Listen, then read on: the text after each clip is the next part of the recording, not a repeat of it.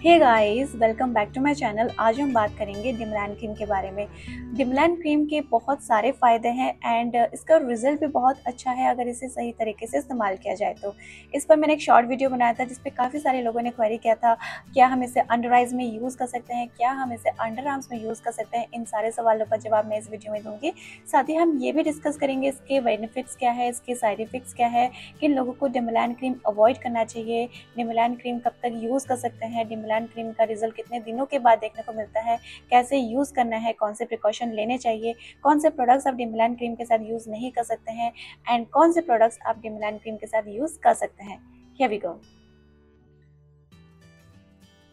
Demelan cream का use pigmentation and dark spots को light करने के लिए किया जाता है। It has three main ingredients 10% glycolic acid 5% percent arbutin and 2% kojic acid dipalmitate glycolic acid skin को एक्सफोलिएट करता है फाइन लाइंस को रिड्यूस करने में हेल्प करता है स्किन को रेजुवनेट करता है।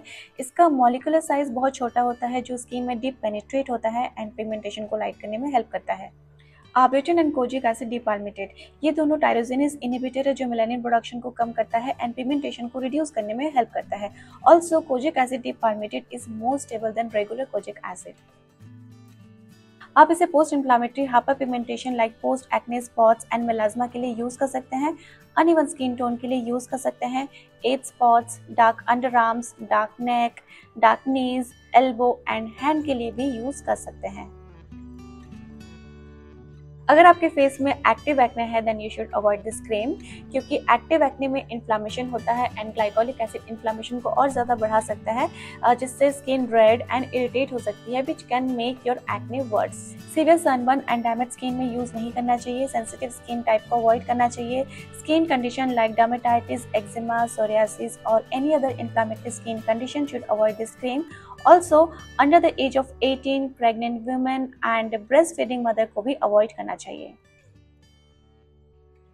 आप इसे दो तरीके से यूज़ कर सकते हैं। फ़र्स्ट आप इसे डेली यूज़ कर सकते हैं अगर आपने ऑलरेडी एक्टिव इंग्रेडिएंट्स यूज़ किया है या आप सिर्फ़ इसे अफेक्टेड एरियाज़ में यूज़ करना चाह रहे हैं। सेकेंड इसके पहले अगर आपने कभी एक्टिव इंग्रेडिएंट्स यूज़ नहीं किया है देन इसे आप थ्राइस अ वीक यूज़ कर सकते हैं या आप इसे ऑल्टरनेट डेज़ यूज़ कर सकते हैं।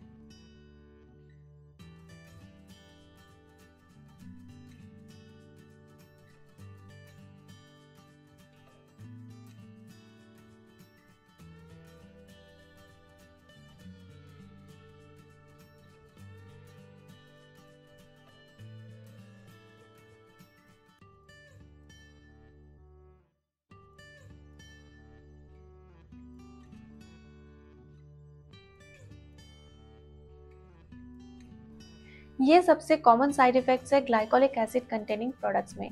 ग्लाइकोलिक एसिड स्किन को एक्सफोलिएट करता है एंड कंटिन्यूस एक्सफोलिएशन की वजह से स्किन सेंसिटिव हो सकती है, जिसकी वजह से सनबर्न हो सकता है स्किन ड्राई हो सकती है पीलिंग हो सकता है। ऑल्सो पिगमेंटेशन के बढ़ जाने के चांसेस भी और ज़्यादा बढ़ जाते हैं।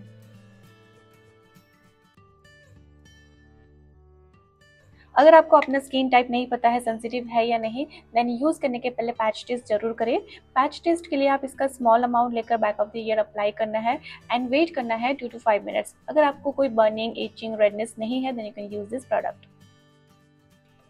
glycolic acid containing product से स्किन सेंसिटिव हो जाती है, इसलिए सनस्क्रीन अप्लाई करना बहुत ज़रूरी है। आपको हर एक घंटे के बाद सनस्क्रीन रीअप्लाई करना है from 12 PM to 4 PM next इसे आइस के अराउंड यूज़ नहीं करना है। इसके साथ मॉइस्चराइज़र अप्लाई करना बहुत ज़रूरी है क्योंकि ग्लाइकोलिक एसिड से स्किन ड्राई हो सकती है। एंड लास्ट uh, इसे नाइट के टाइम ही यूज़ करना है। इसे आप तब तक यूज़ कर सकते हैं जब तक कि आपकी पिगमेंटेशन कम्प्लीटली फेड नहीं हो जाते। क्योंकि इसके एज कोई साइड इफेक्ट्स नहीं है अगर लॉन्ग टर्म यूज़ किया जाए।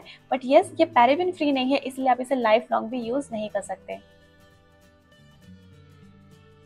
डिमलैन क्रीम का रिज़ल्ट वेरी करता है from person to person for new and superficial pigmentation it can take around one month to see visible result for post inflammatory hyper pigmentation deep pigmentation and melasma के लिए it can take around three to six months to see visible result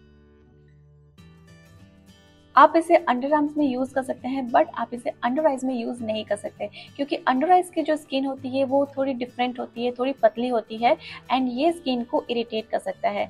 आप under eyes pigmentation and dark circles के लिए under eyes products use कर सकते हैं, जिसमें retinol kojic acid and vitamin K जैसे इन्ग्रीडियंट्स हो।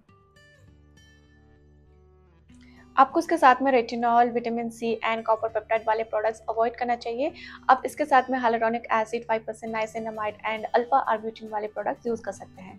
So this is all about Demelan cream अगर आपको डिमलैन क्रीम से रिलेटेड कोई भी क्वेरीज है then you can ask me in the comment section मेरी कोशिश यही रहती है कि मैं सारे लोगों को रिप्लाई करूँ। सो so, अगर आपको मेरा वीडियो अच्छा लगा हो do like share and subscribe to my channel and turn on the notification so you never miss out any of my videos thanks for watching you next time